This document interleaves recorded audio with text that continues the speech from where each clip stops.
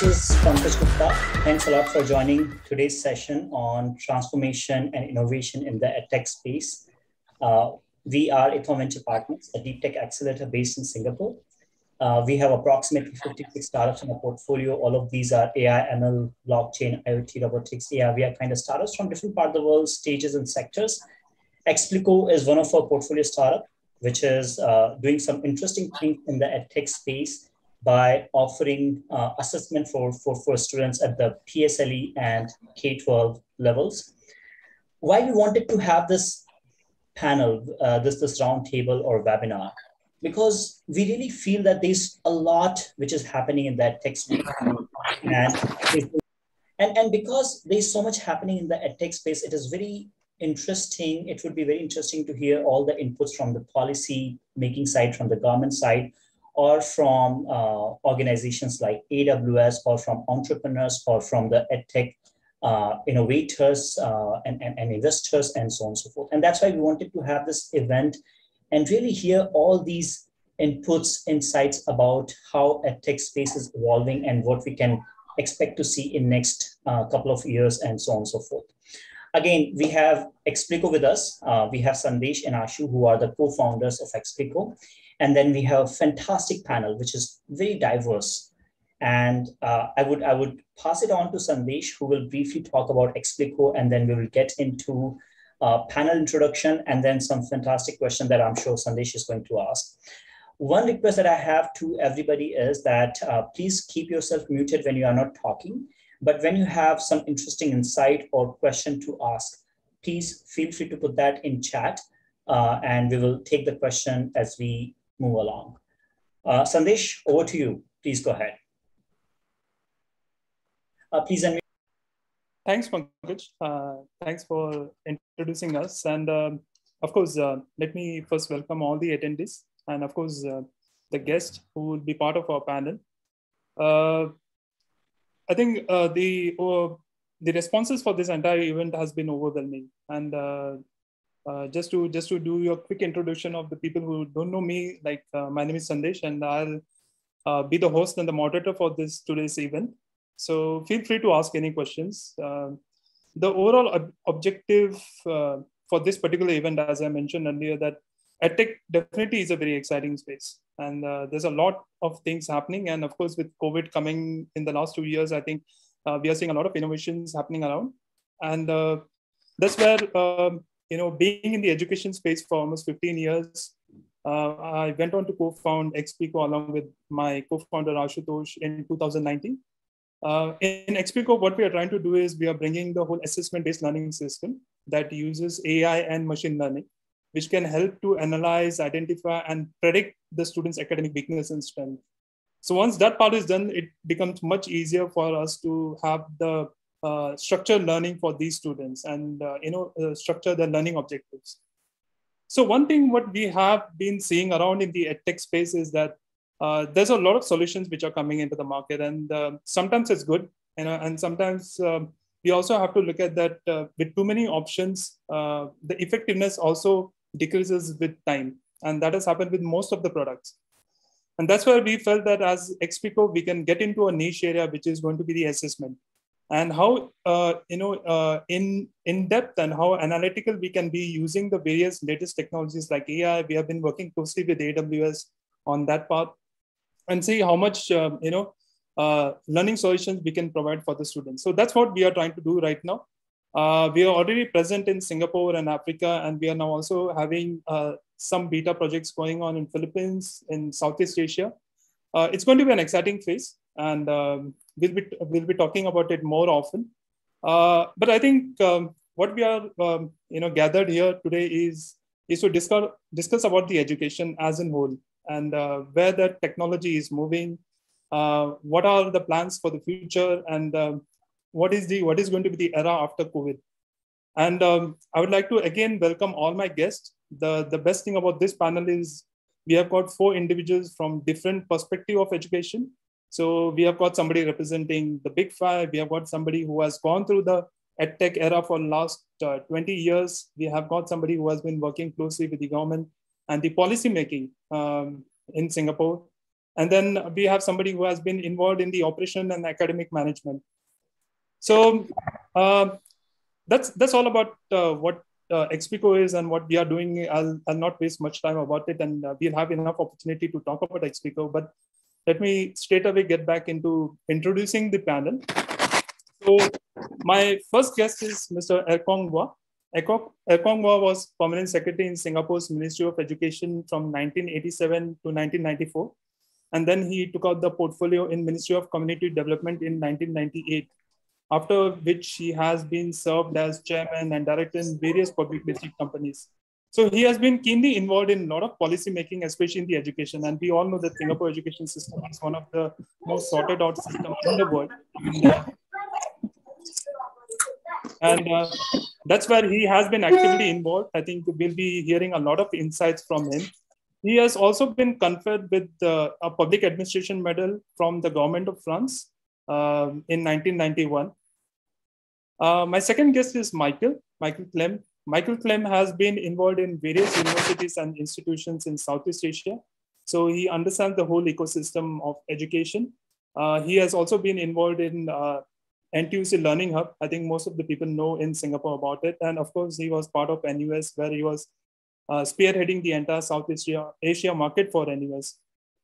Um, interestingly, he also co-founded a Singapore Education Network where he's bringing in all the educate, educators, education technology platforms where they can come in one single platform and look out for partnerships and try to learn from each other. I think that's a that's a great initiative, uh, which I think as an edtech uh, company as myself, I think uh, you know we can reach out to not many people through this platform. And uh, right now, he's also a startup mentor to many startups. Uh, he's involved with few accelerators in Singapore like EduSpaze and 500 startups. My third guest is comes from a very different perspective, that is from the corporate side. And I think um, uh, Mr. Ivan, Mr. Ivan has been involved with the AWS EdStart program. And I think that becomes very much essential uh, for big companies to work with smaller companies and see how they can support us in terms of reaching out markets, in terms of uh, technology support. I think uh, that's that's where most of the smaller startups are not able to reach out fast, and that's where I think uh, this brings a whole lot initiative for us.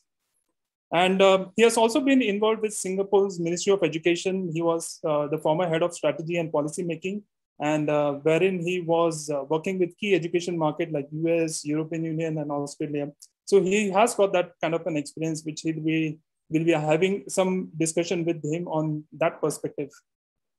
Uh, the fourth gentleman in our panel is Mr. JJ. Uh, he actually, we call him as that he wears a lot of hats, uh, one man with many hats.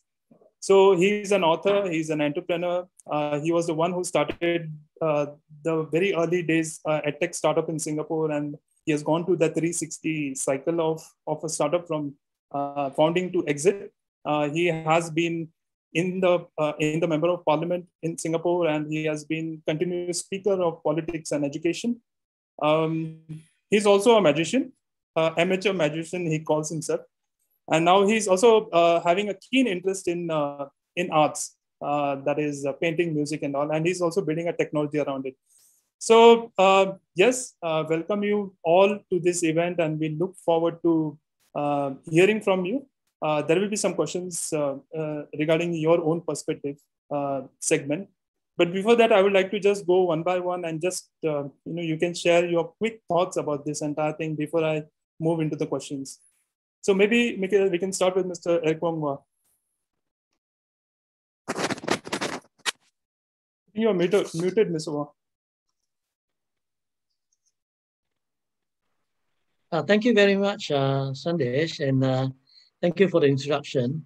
Uh, as you said, I was the permanent secretary in the 80, late 80s and the early 90s. So uh, my comment may be a bit dated, but uh, having left the Ministry of Education, uh, I still kept in touch with education. And uh, early part of it, when I was in the service, yes, we formulate a lot of policies and so on.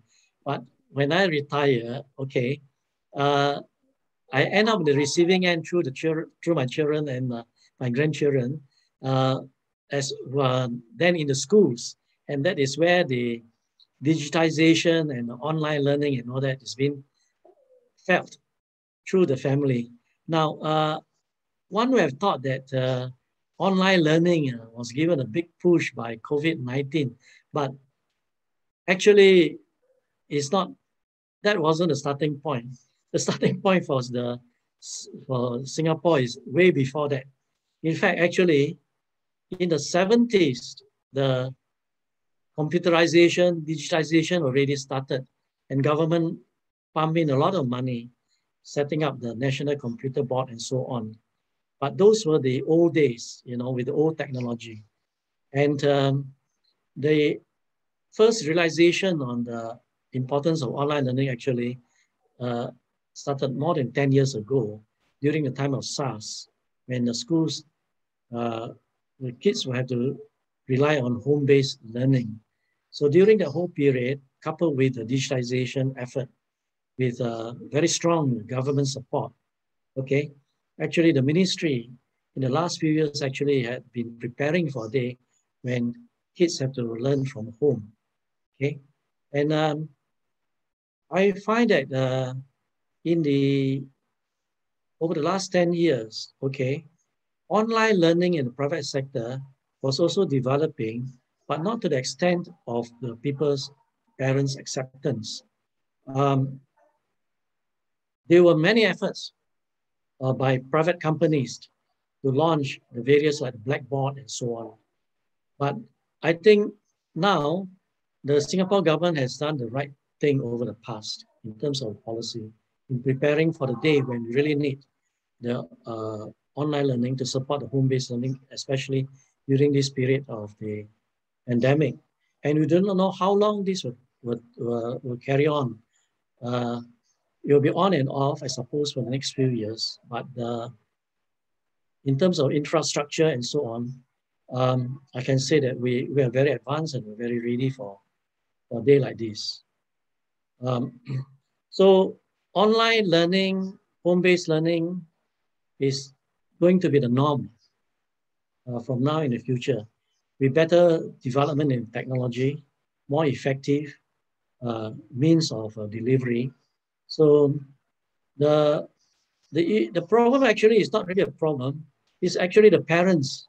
The parents will have to keep, keep pace with, with uh, this sort of development. And it's not, not easy for parents or even for, for me. See?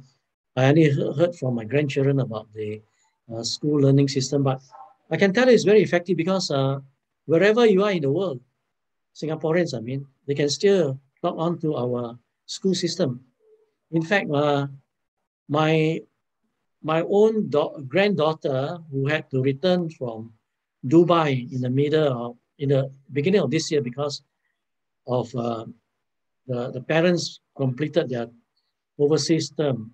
But my granddaughter was halfway through international school. But she is able to return to Singapore and continue her international education online and completed her year in Singapore. So th that is another interesting thing. So even international schools, you can register for international school in any part of the world, and you can still study without any loss uh, in contents. So you don't need to be physically present in that in the country, you know. Uh, so I expect more of such uh, things to happen in the past, in, in the future. I mean. So. That, that, yeah, that's, sure. that's what I think it will be. Yeah.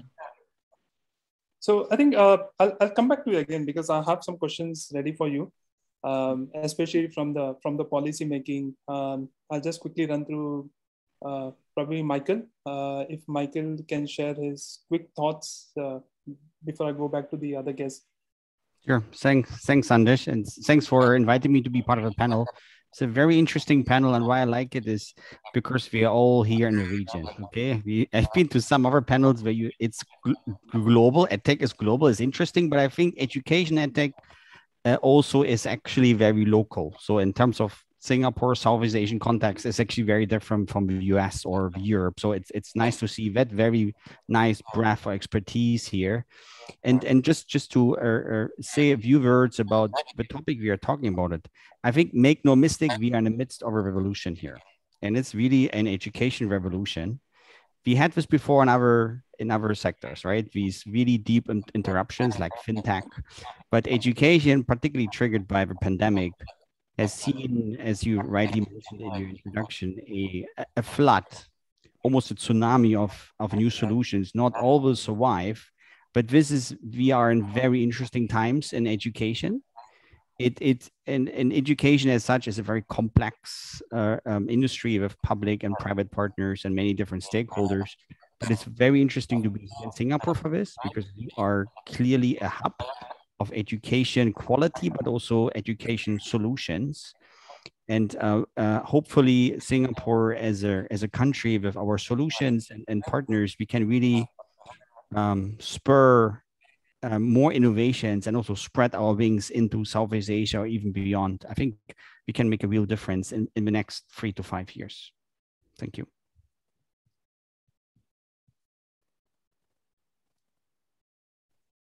Sandesh, you are muted. Yeah, sorry. Uh, so uh, I was just saying, yeah, Michael, yeah, even we believe that uh, tech is going through a lot. And um, yeah, we are going to see a lot of innovations happening uh, for the good. Um, one thing COVID has done definitely is that uh, the adaptability. I think uh, now people are more adaptive to the online learning, which was like a lot of resistance in the past. So yeah, yeah it will be interesting. Yes, definitely. There's more to discuss with you. Uh, let me quickly move to Mr. Jenn Jong and you know sharing his thought because he comes from this space from early 2000 so I think there's a lot has changed what he started off. So a quick thought on this, uh, uh, Mr. JJ. Yes, uh, okay, thank you. Thank you, Sandesh. And uh, yeah, nice to be here with uh, so many distinguished uh, uh, panelists and um, participants. Okay, just to share a few thoughts. Firstly, I'm privileged to be um, in the early days of EdTech um, in Asia Pacific. I started Asknlearn in the end of 1999 initially it was to do um, B2C learning for Singapore school age children, but we uh, switched very quickly to B2B because uh, we did not receive enough funding when the um, the Nasdaq crashed in early 2000. So we decided that uh, we wanted to be more focused on servicing the schools instead. So we we ended up servicing um, Singapore schools to do e-learning for them. Um, we managed to get some breakthrough after SARS, and we grew to be servicing about 40% of all the schools in Singapore. We sold the business to a public listed firm uh, in early 2007, and uh, I left the business in 2009. And uh, since then, I've been doing a number of other stuff, uh, which uh, had been introduced earlier, um, but it includes a mentoring a few other ed techs. So I'm still keeping in touch with the ed tech space. Uh, authored a book that been in Singapore's parliament for the last for five years, and I also uh, ran a few education ventures. So my thoughts on EdTech is that yes, gone through a pretty big um, transformation since those early days. Um, I remember the struggles that we had when um, the teachers themselves were quite new to technology and you had to uh, ask them to create content. And those days, creation of content is not as easy as today. There's not so many video-based uh, tools and all that um, bandwidth was very uh, expensive and difficult. So it was not easy for them to create quizzes and, and, and other stuff. Okay. Uh, I also remember that um, um, when we started to venture into China, so we did a project with um, this um, China Construction Bank, and um, then we had to. That was just before the Olympics, uh, two years before the Olympics. They wanted to make sure that every frontline staff must pass basic conversational English to get themselves ready for the Olympics. So uh, definitely there was no way they're going to get 6,000 staff trained uh, within two years. Uh, so they, they, they opted for e-learning and China was then in this infancy, right, in, in e-learning. So today, if you look at China, it is leading the world in terms of uh, the use of uh, artificial intelligence in learning. It leads in uh, lots of areas of tech in terms of the number of students uh, that are on it. Uh, in fact, China leads in a lot of things, including fintech, uh, e-commerce. And also today we have a lot of huge markets like India. India is now home to one of the top tech company by market valuation. And you also see like near, near to us, uh, Indonesia and Vietnam are catching on very fast. So it's certainly very exciting times, and definitely the market is a lot more ready to adopt e-learning compared to where I was 20 years ago when we started. We had to do a lot of education to just to uh, convince people why they even need something like that. Thanks. Hey, hey, thanks, JJ. Um, I think yeah, I think uh, Southeast Asia definitely is is becoming like a you know epicenter for edtech. Uh, it was uh, earlier dominated by China and then India. Now we are seeing a lot of startups. Even in Singapore, we are hearing a lot of um, new startups coming in, raising investments. So uh, I think uh, one more more important uh, thing which is happening, especially for the edtech, is that we are seeing a lot of big corporates coming and joining hands, and um, that's where I would like to hear Ivan's comment uh, because I think Amazon, which um, is basically an, uh, started off as a retail and today they are involved in uplifting a lot of edtech startups across the globe with their technology. Uh, so uh, I think it will be good to hear from Ivan, like what is the main objective? What is the vision which we see from these corporations and what they see in our startups, like the small startups with, and um, how they see as a market, uh, you know, uh, uh, what do you say, a market kind of a leader and how they can contribute into these startups. Hi, Thanks, Andesh, and uh, the rest of the team for inviting me for this panel. Uh, my is Ivan. So, uh, broadly speaking, um, so I started my career as a teacher. So I'm I actually started teaching in schools, uh, and then I did various work um, before working now at AWS.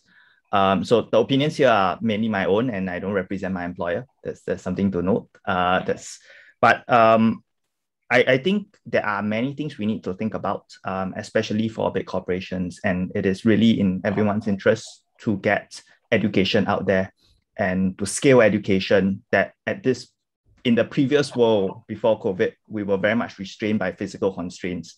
Now, digitally, things are going to also be very different.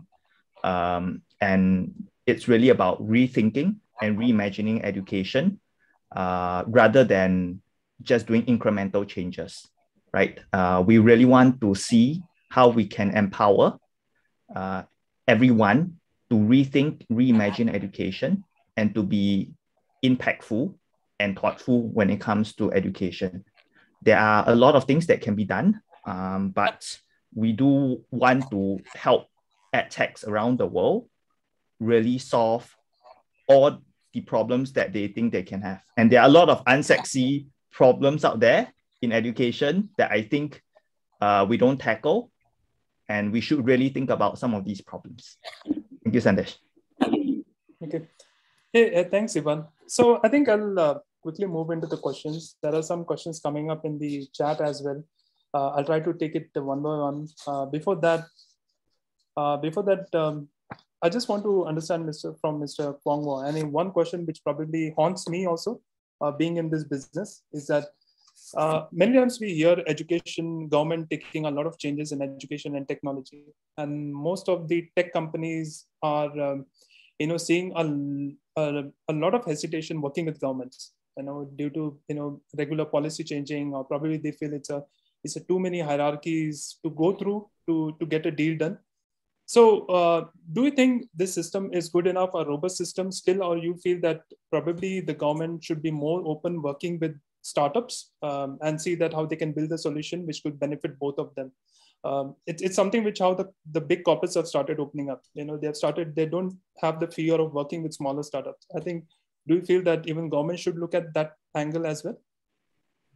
I think they're not, probably not directly. Normally the government will go through the one of the statutory board at the Enterprise Singapore or even the universities or startup in that sense, more by way of funding other than by direct involvement in uh, promoting the startup. So that that's that's always been the case all these all these years that I know of. But um, I know there's a lot of innovations in a in the private sector, and I think one of the big challenge actually the private sector is facing is the contents, not so much the technology, but the actual contents to suit whichever education system that is uh, uh, that is needed. And um, that is the most expensive part. Developing the contents is very expensive. So only the ministry can afford that, you see. So they can have enough uh, resources just to develop the contents. and then to buy the technology, the, the contents into the technology, and then deliver it to the students. But personally, I would like to see some changes in future on the on, on our school system. Uh, you know, kids wake up very early in the morning, and the school starts at seven thirty. So they they have to rush to school. Not enough sleep. They half asleep. Not not enough. Uh, did not take the breakfast. But with uh, online learning, there could be a blend of uh, in-person as well as uh, uh, online presence and education. In other words, uh, there will come a day where you don't have to uh, attend school five days a week, maybe maybe three days and then two days of home-based learning, that sort of thing. And also you can adjust the timing, uh, the, the, school hours, start time and the, at the end time, as well as do a lot of the homework online in the school, in the class, or even at home, so that uh, the kids do not have to stay up late uh, in the evening just to finish the homework and then have not enough sleep. Next day, got to go to school again. Um, I would like to see such changes that make student life uh, easier and uh, more free time for them to to develop themselves, you know, in in the hobbies, in uh, in new things, in things that, they, but not playing games all the time on the on the on the phone. You know? Mm-hmm. So, if you're talking about uh, startups and so on, uh, I've not seen the any ministry that has direct uh, involvement in that. Usually, it's through grant, through a statutory board. But the net effect is the same. But if you add up all the funding that comes from government in this area, I think it's quite quite a lot. Because it's not just one particular ministry or statutory board. It's uh, quite pervasive, you know, in all the ministries, especially over the last four five years, and then the and, and the coming years in the area of digitization, which is also related to some extent on the online.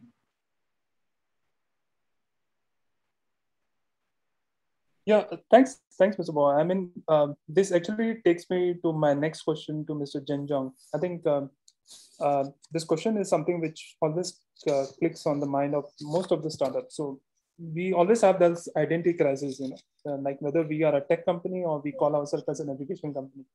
It's just like you know, Grab has the same problem, and uh, you know, most of the like, for example, even I can I can say for AWS, which started off as a as something on a retail without having owning none of the brands or none of the shops. So I think similarly, we also have that similar identity crisis, whether we should be presenting ourselves as a, as a tech company or as an education company. So what's your thought? Because being in this space for a long time, I think you'll ha- definitely have some insights on it. Okay, thanks. Yeah, before I go into answering your question, I just want to add a little to uh, what Mr. Earl mentioned earlier, uh, which is definitely very valid because uh, I was in the space that was trying to sell to Ministry of Education, to schools and so on. Uh, it was quite tough uh, until, of course, uh, SARS happened and then the schools started to come knocking at our doors. You know, the ministry started to ask the schools to push. But um, on the part about um, how to encourage startups and innovation, that um, one of the things that was very interesting and was a personal experience that I went through was that we started at the time that the government was trying to encourage broadband. And those days they were uh, using the computer um, IDA. Those days it was called IDA, um, which is a stat board like Mr. Er mentioned. They will go through the stat board to try to promote um, education use in, in broadband. And then they themselves, the uh, IDA was trying to convince MOE to use it. Uh, of course, MOE was reluctantly giving them a few schools here and there to try out and so on. Um, but I wanted to push that at, at a policy level, we can start to look at sandbox. We ourselves benefited a lot from this sandboxing thing, where we came into the, we managed to break into the MOE market in the early days. We switched from B to C to B to B because uh, of that broadband initiative and because of the grants that uh, IDA was giving out through the schools to to appoint companies like us. So because of that sandbox, we managed to create a solution. And then when SARS happened, we had the perfect solution to meet whatever the schools needed. And then from there, we scaled up very quickly. So, you know, that was something that I was passionately also pushing for in Parliament, that we should create more sandboxing opportunities for our local startups to be able to break into ministries project. Because directly, the ministries themselves don't really want to engage startups, and, and that's a perennial problem. Okay, anyway, back to your, your question about um, identity crisis. I think it really depends uh, what space you want to be, because ultimately, wherever you are going into, you want to be a market leader, and it's very, very crowded uh, space in the in the edtech business. I see some of the questions in the in the on the by the participants asking about yeah this being a very crowded space. So so we need to okay my my own experience when I started Asknlearn, we wanted to be a platform provider, a tech platform for the schools. But we found out very quickly that if we go into the schools and we have no content, there's no way we're going to sell. So we force ourselves to create content. We build up um, with a shoestring budget. We managed to like get ex teachers into our team. We get tech people. We build content, and we actually uh, piloted with schools to build content, and that helped to jumpstart the whole process. Yeah. So, um, so for us, uh, in order to be in the space we needed to be, um, being a technology provider uh, would not gain us the market share. So we had to force ourselves to create content. And um, there are very few ed tech companies that can purely call themselves a tech company without uh, dabbling into content. Uh, one of the examples I can think of is the granddaddy of the learning management system, which is Blackboard. Blackboard doesn't create content. They still provides a platform for schools and, and corporates to use, right? But they're the early um, players in the market, they have some market share, but still their market is being threatened now by people with uh, cheaper platforms or open source platform. And the challenge of a ed tech to, if you just want to be um, a platform player or technology player, uh, and if you are based out of a country like Singapore, you'll find that it's going to be very challenging. If you want to be a leader in the technology side of edtech, then you really need to define the global standards. And that is something that's honestly very challenging for a Singapore-based company to be defining world standard. You have to break into the biggest market in the world, which is US or China these days, and then establish a standard, then you have a, a chance. So I think also, um, yeah, EdTech, you have to decide what age range you want to get into. So uh, because EdTech itself is very wide, it can be all the way from young kids to um, adults, corporate learners, and so on. So um, yeah, and it is quite hard for um, for edtech to be something for everybody initially. So you got to start out by being very focused on a particular market, and maybe if you receive funding, you can go on acquisition or to expand your brand out. But usually, it'll be very focused on building content for a specific area, have a breakthrough, have the market niche, then you can expand. Okay, thanks. Hey, thanks, uh, JJ, for this detailed explanation. I think um, we still, as a as a company, have to figure out in which domain we are standing right now as a technology and uh, um, as an education. I think that, that struggle is going to be there for some more time, um, and I think it's a good struggle to be in. Um, so, so my next question would be for Michael. Uh, I think um, that the key component is that the, with so many solutions around especially in education, we are talking about uh, the learning management system, the open source platforms. Uh, we are talking about the new innovations like AI, machine learning, augmented reality. Uh, how do you see, as someone who has been in this education ecosystem, saying that whether it's going to be really something which is beneficial to students? Is it going to make their life more easy? Or do you think it is going to be, become more and more complex for them, uh, you know, taking up this uh, content? And which is the best? And how do the students choose that what is the right solution for for me to go ahead? Thanks sandesh very very um, relevant important question. Well i was 10 years with university so i have a stronger uh, perspective on how higher education how it works or how it doesn't work. And i was also two years with an american uh, college called minerva university which is a very interesting tech heavy uh, um, uh, hybrid model. But um, it definitely is more complex, and particularly because we are currently in a transition period. Uh, many educators teachers they are not fully aware or we are not fully um, trained to use these tech solutions. And for the for the students as well it takes time to adopt. But, remember as younger you are as easier it is to learn the, these these tech stuff right? Kids uh, uh, nowadays you know this is the digital generation. So for them to pick up and learn uh, different digital tools is actually relatively fast so to speak the, the bottleneck what i see is is the adoption or the utilization from the teachers professors researchers or the administration of those education institutions and that is again and we are in the middle of a revolution meaning that is a tsunami of different solutions all coming in uh, um, in the last one or two years. We had early adopters, early uh, companies, as uh, um, JJ was also mentioning, but obviously the last two years um, completely changed because solutions which were looked at um, as only a second class solution, particularly online learning on online degree, which was like, okay, I, am not really sure is it recognized. Suddenly it's um, talk of a town, right? It's it's recognized, it's offered by by institutions, by well-known institutions, including NUS, NTU, etc., etc. So uh, just come back to your question. It's going to be a bit more complex, but at the end of the day, what an edtech solution should do, it should make life easier. Uh, and I think that's a, starting point. Some people think edtech is about putting offline learning online. I think that's a, that's a really wrong approach.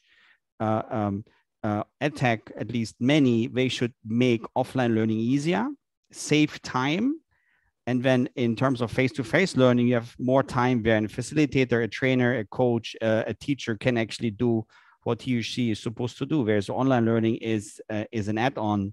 It saves time from the classroom. Um, and I think that's that's critically important. Secondly, that um, teachers, trainers, etc., using edtech again should save time, and thus also make um, learning more impactful by giving them different data points in terms of assessment. So that's a different perspective, and that's a skill what many people need to be trained at, and that will take time. Uh, uh, so I don't think will change over time. We we are still in the phase where we need to figure out what what is the most important aspect where we want an edtech solution to help us. If I would be an education institution, and then I need to train my staff, my teachers, my professors, my students. So that will still take a little bit of time, and it will be a bit painful.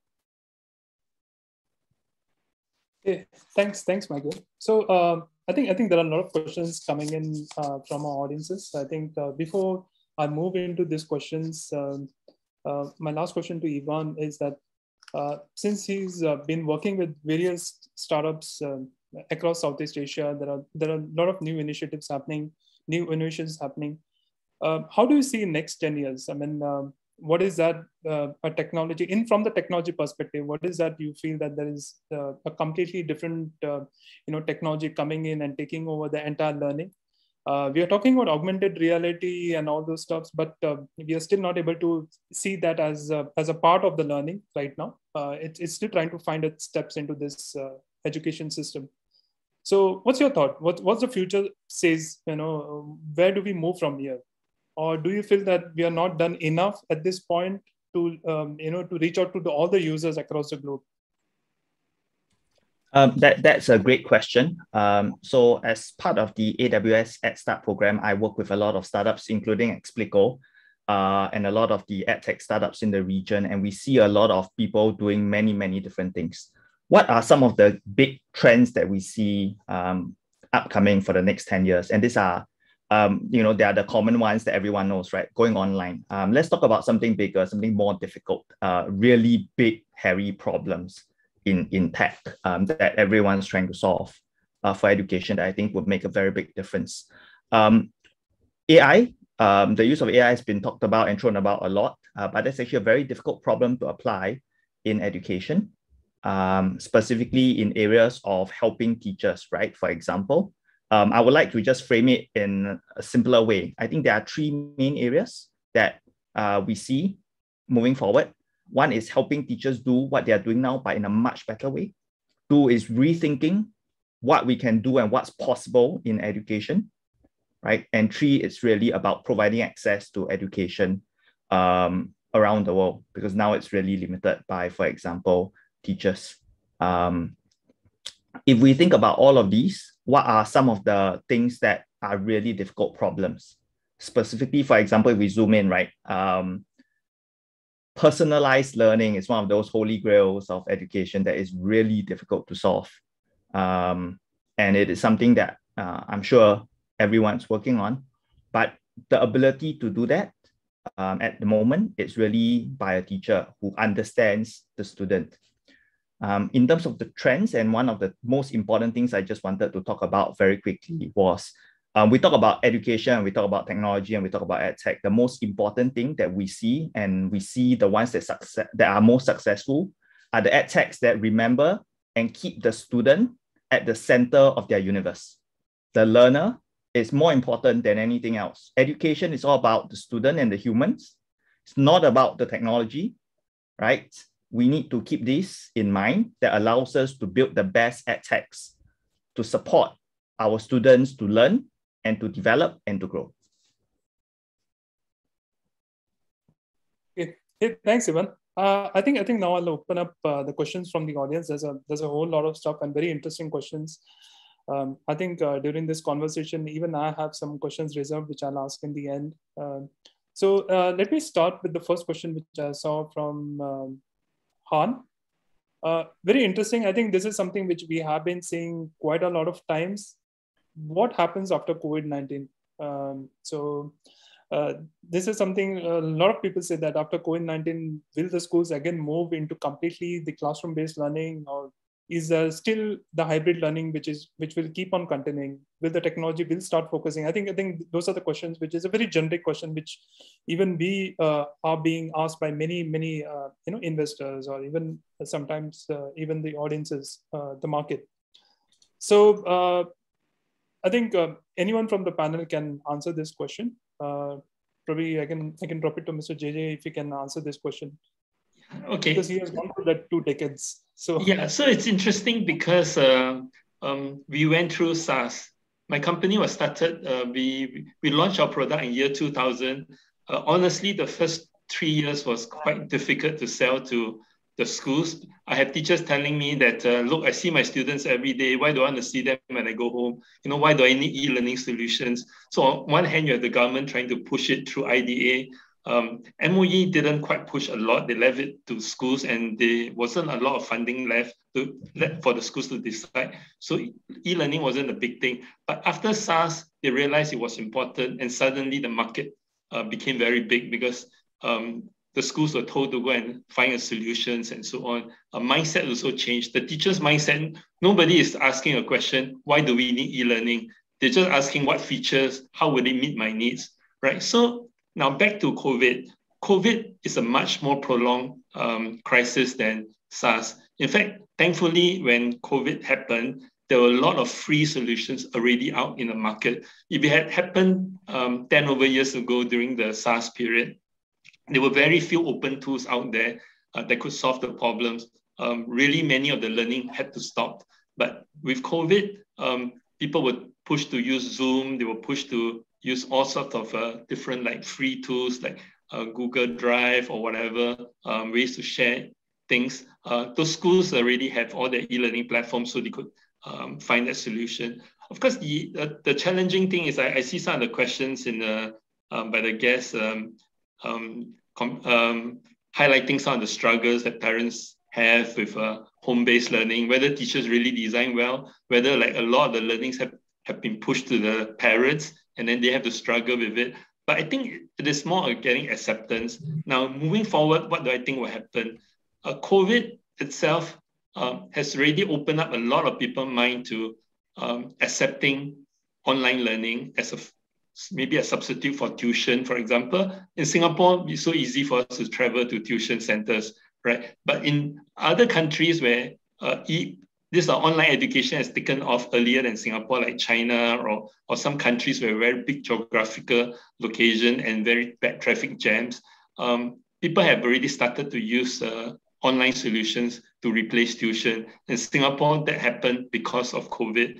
And then uh, like Mr. Earl was sharing, that maybe in future schools could have less, uh, can have some days where more days when the uh, students can stay at home. They already started this since uh, SARS time, that there are some e-learning days, but not many. So you'll see a lot more of that. Um, you'll see a lot more acceptance of uh, online degrees by top universities. So I think definitely COVID has launched a whole new market. There'll be a lot more funding, a lot more innovation in this.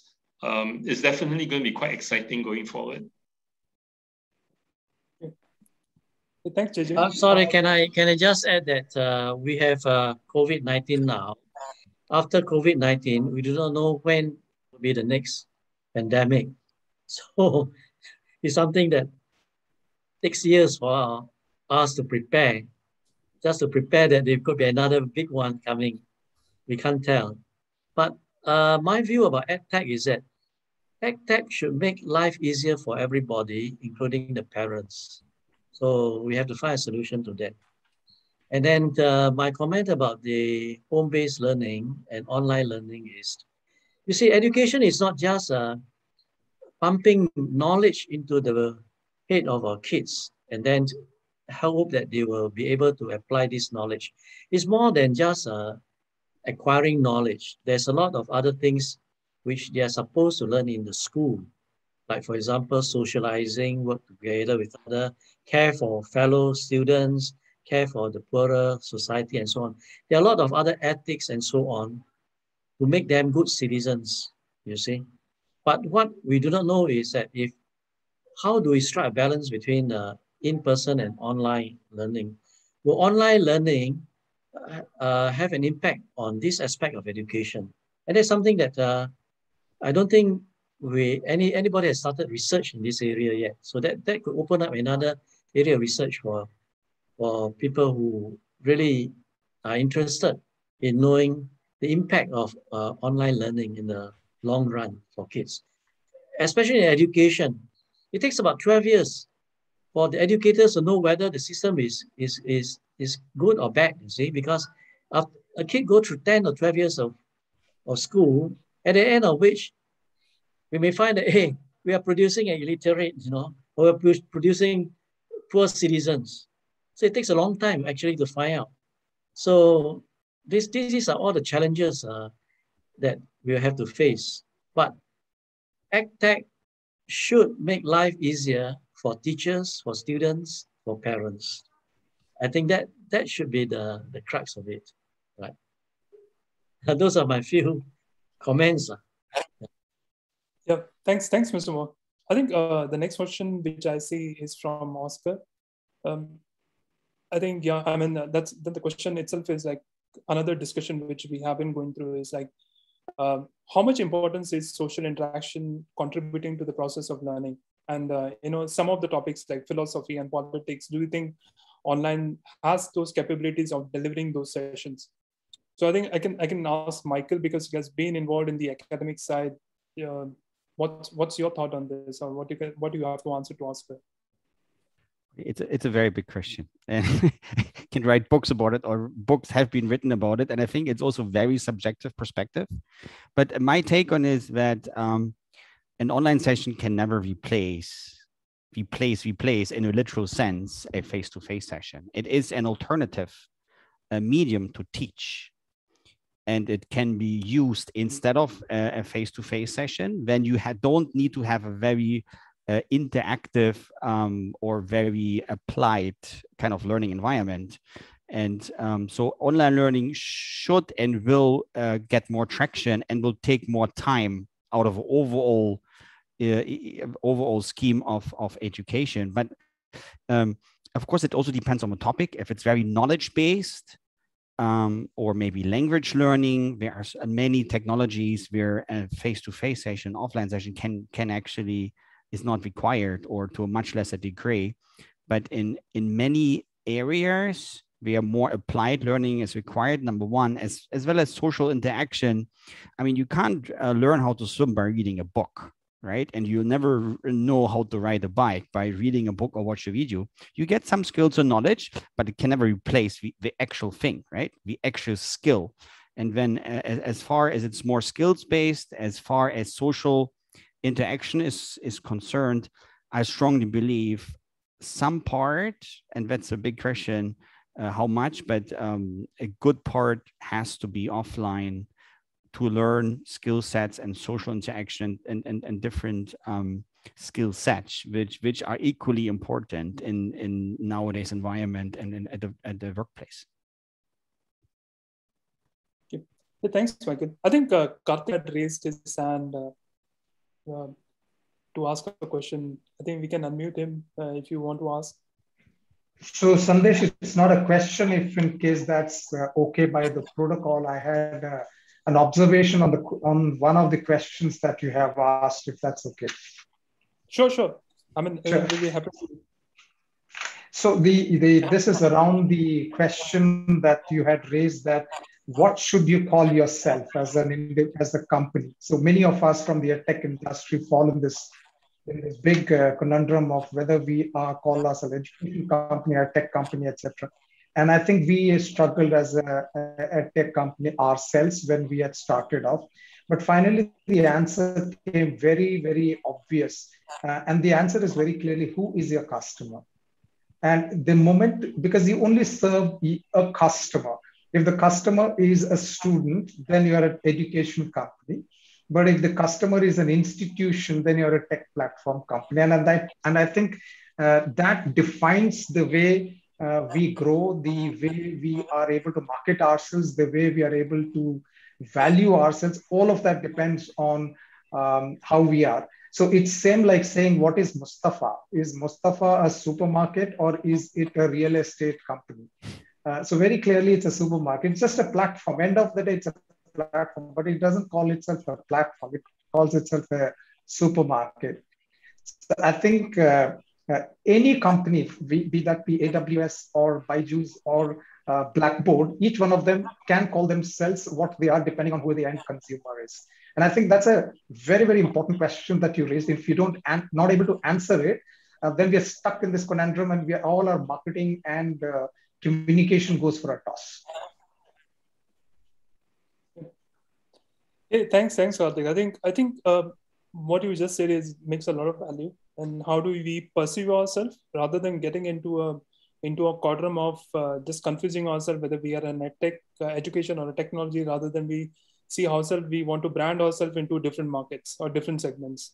I think yeah, I think I that's a valid add, point. Thanks. Yeah. May yeah. I add here in the early days, and this is 2000. Uh, 2010 2012 days when we were i was running 24x7 lane which were one of the largest lms and content development companies then. One of the problems was we when we call ourselves as an edtech company because nobody wants to associate with an edtech company. They want to associate themselves with a technology which will help them teach. That's all. So the moment you you say it's e-learning the end consumer in a corporate was worried he doesn't know because he's very worried about doing e-learning. But the moment you say that, you know, you just have to come train yourself and it's available on URL so and so with a US, user ID password, he was very comfortable. But the moment you said you have to do e-learning, that was putting off the end client itself. So sometimes the word e-learning and online learning and can be deterrent in itself. Sounds good it all depends upon you know these terminologies which have come. I mean, this edtech, HR tech, fintech. This is all like have started coming in last five years. You know, before that there was only technology, there was only education. So I think the moment this terminology sure. started coming into the market, that's where the confusion has been more often. Uh, so I think uh, moving to the next question is from uh, Sulbi. She says that uh, how do you ensure that 100% participation into online session uh, I think I can take this question because uh, we have been working very extensively on this part uh, because uh, we have been seeing a lot of video platform and this is the common, uh, you know, uh, stress which most of the parents have. You know, they the students log in, they see the sessions, but they don't know how much they have been able to understand from those online sessions. So this is where I think as Explico, I can I can just say that we have been working on this space. We have been seeing that how the effective online learning can happen through live assessments. And there's a lot of interactive during our live sessions which at least is uh, you know helping a student and a parent to to know that how much he has been able to understand from that particular session. So uh, moving forward yes i think there'll be a lot of more innovation in this space also where we can have like we are already seeing some face uh, you know authentication and face recognition devices which can capture the emotions of a student whether he's happy or whether he's a sad. So all these things i've already gone through. We had done some beta also into that. Uh, and we'll see more and more such things coming in so that we can see how the online learning uh, can be more effective just like the classroom sessions. Um, okay um, one more question from uh, Richard is I have some multiple questions from Richard, which says that okay, uh, with with the deconstruction of the traditional model of learning, EdTech can provide flexibility of learning at students' own pace and schedule. Yes, that's that's an advantage. But uh, one more question has asked is, will there be a Netflix in education? Uh, probably, you know, uh, Ivan would be the right person to answer this. So um, I'm gonna just approach that from an idea of choice, right? And when we have a buffet of things, um, I think one of the problems, if you want to take a step back at it, is really how do you know where to start? In pedagogy, we actually have a very clear framework on things like what are foundational knowledge, what do you need to do in order to build onto the next stage, and what, and so on and so forth. Um, so the problem with the idea of a buffet, just an empty buffet, for example, is it's it may not really be the best way to approach teaching and learning, especially when it comes to knowledge, right? There are some things that are suitable, there are some things that may not. Will we see something like that as a buffet? Yes, definitely. But I think the bigger question we really want to think about is, is it suitable, right? Um, and, and is it the best way of doing it? Um, there are certain things, especially younger students who need a bit more structure. Um, there may be some things that are more suitable for a buffet. Uh, I think it's something that there is a space for everyone to think about. But from a pedagogical perspective, we need to know what is suitable rather than say that, you know, this is something that everyone would benefit from. There's actually a huge buffet of library of learning videos out there. Um, but we all know that we don't watch all of them, right?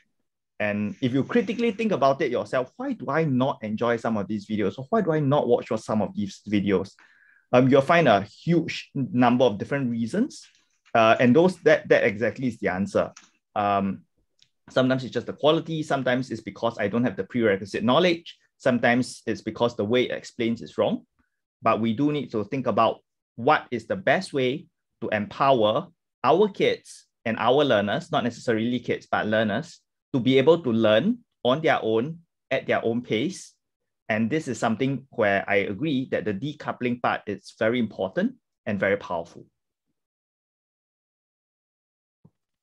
Thanks, Ivan. Um, I think yeah, even even I feel that we are not there yet. You know, uh, in terms of OTT. Uh, in fact, we also had some discussion with the OTT platforms where we are seeing as that uh, to deliver the content through OTT platform. But I still feel no. I mean, still the market is not ready for that uh, because it's it's more of a one-sided unless we come up with a innovation where we can have a much larger interactive kind of a sessions.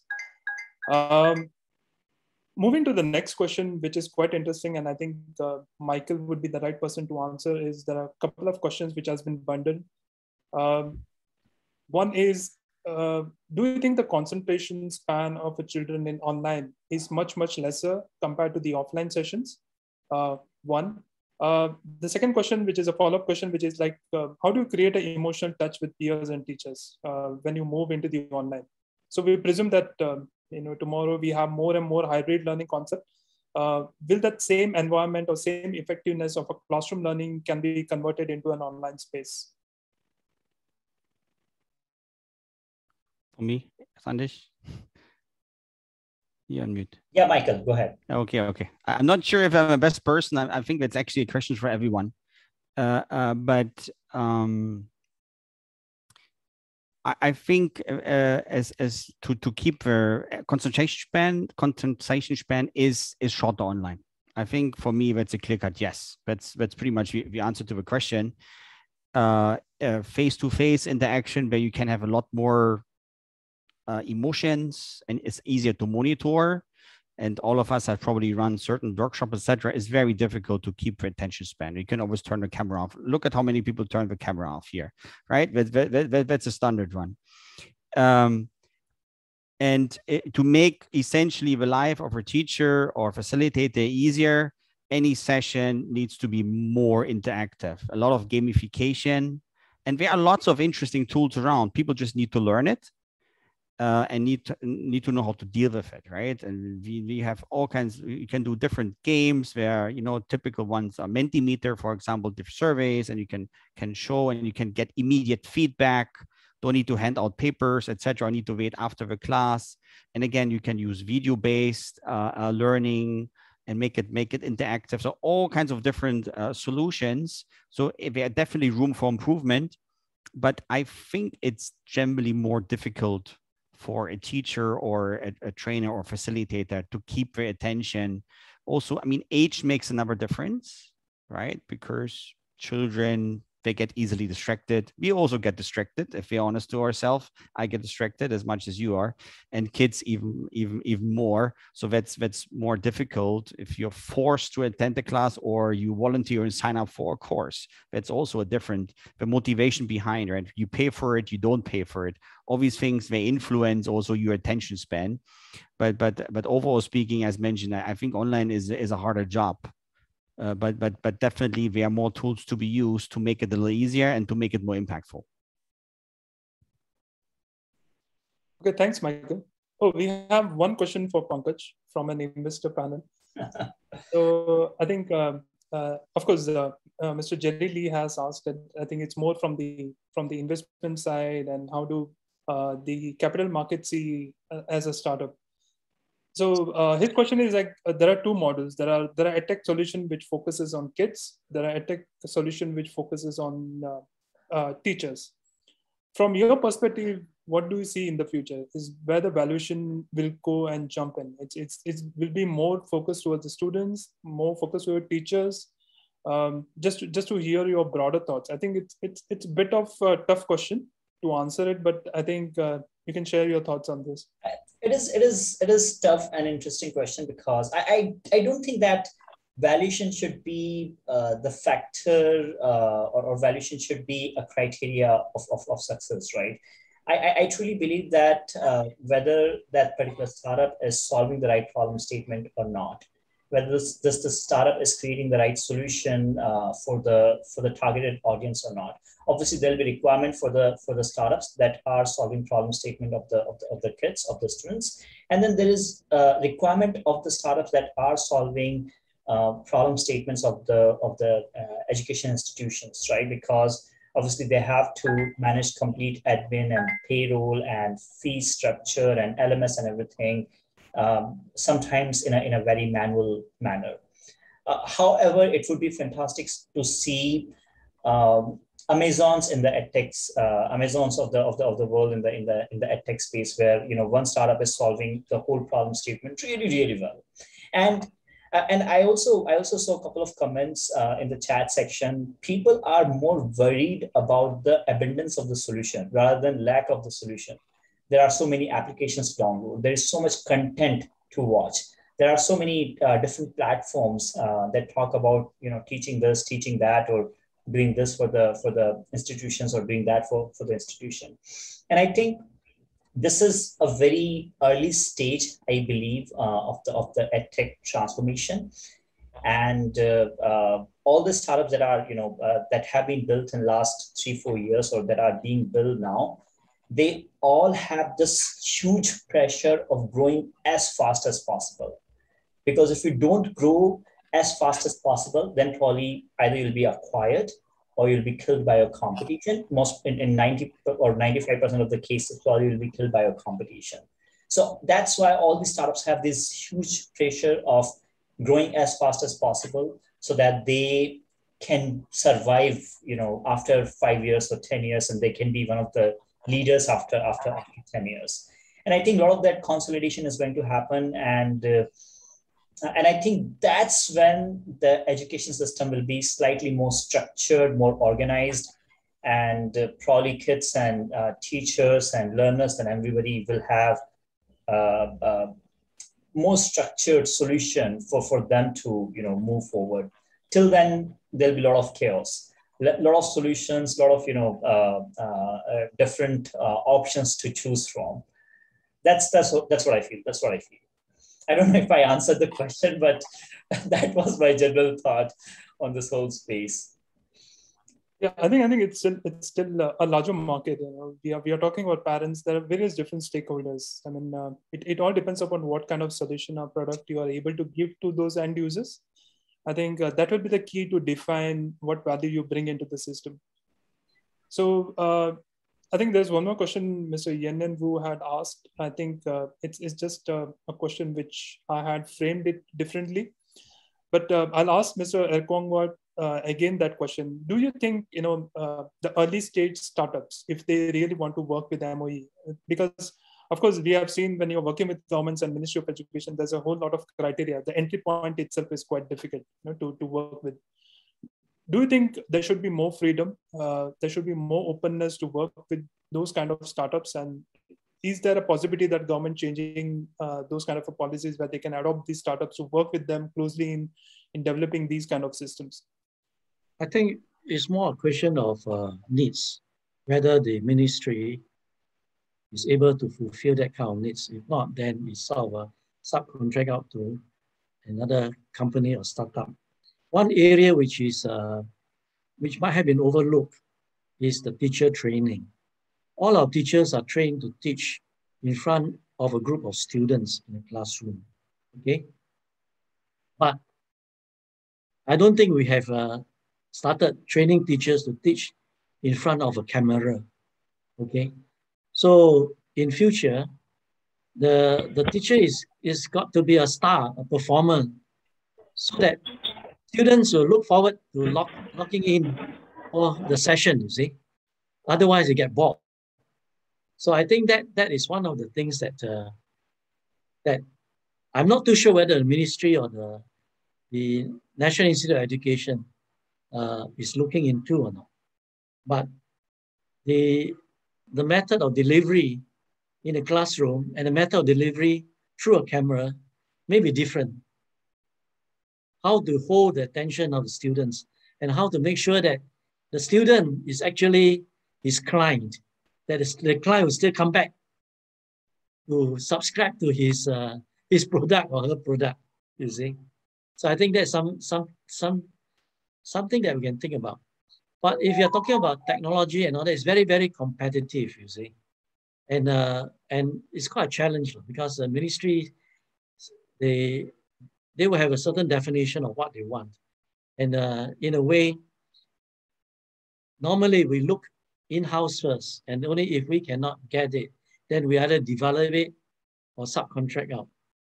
The subcontract out is something that have to go through a, a very tedious process, you know. So, um, and there's always a fear that it may not work or it may fail, see. So, so these are the kind of challenges. But unless you have got something that's so unique, that's so different, that is uh, a lot cheaper for the ministry to, to buy it. And uh, also Singapore is a small place. If something that's developed in a big country, the US or something like that, then it's a question of acceptance in the sense that some other people, uh, some other organization have already readily accepted the system. Okay? But we are quite shy generally of try and error type of uh, venture because if it fails, there's a lot to answer to everybody. Okay, thanks, thanks, Mr. Wah. I think uh, there's a bit of time constraint, so we are not able to take up more questions. Uh, but definitely uh, you can write to us, reach out. Uh, we are we are very happy to to able to answer those questions. Uh, um, you can reach us at LinkedIn, and uh, you know we'll also drop in uh, email. Um, let me take this time to thank everyone. I think it's an it was an excellent discussion we had with the panel, and there are a lot of insights which we take from this particular event.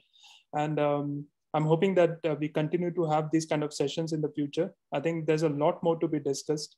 Um, as we are seeing in the questions and the people chatting, I think uh, one hour is not enough, or one session is not enough to have uh, a discussion about something which is which is growing massively. Um, uh, I think for me, uh, or uh, the key takeaways from this particular event is we believe that there's a lot of responsibility on us. It's it's it's an exciting, it's it's a lot of opportunities, but uh, there's a lot of opportunity because the stakeholders are quite uh, uh, uh quite a many. It's not just uh, the schools, the teachers, it's kids. You know, we are we are trying to build a next generation and uh, there's a lot of dependency. And when the things are slowly moving from a classroom to an online learning, the dependency of learning also is moving from a classroom to online uh, learning. So I think it, it also adds a lot of pressure for all the edtech players in delivering the right kind of uh, the content, right kind of quality education.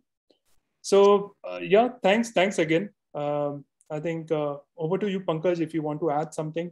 Uh, no, I mean, it was definitely a very, very fantastic session, and uh, I, I wish we could have, we, have, we could have gone for hours and hours uh, on the on this topic. But one thing that I want to uh, say is that this is just the beginning of our relationship, right? you heard Sandesh talking. Ashu was in the background helping Sandesh please connect with the founders. They are doing fantastic work. And the, the best thing is that they are really excited and passionate about what they're building. So would love to reconnect with you later and see how we can work together. There are possibilities of partnerships. There are possibilities of, you know, uh, working together or, or I'm sure uh, we would, we would love to, you know, connect over a coffee or, or chat about the whole ecosystem. So let's, let's reconnect and take it from there. Okay. Thanks everybody for joining. Really appreciate your time and we'll talk to you soon. Take care. Stay safe.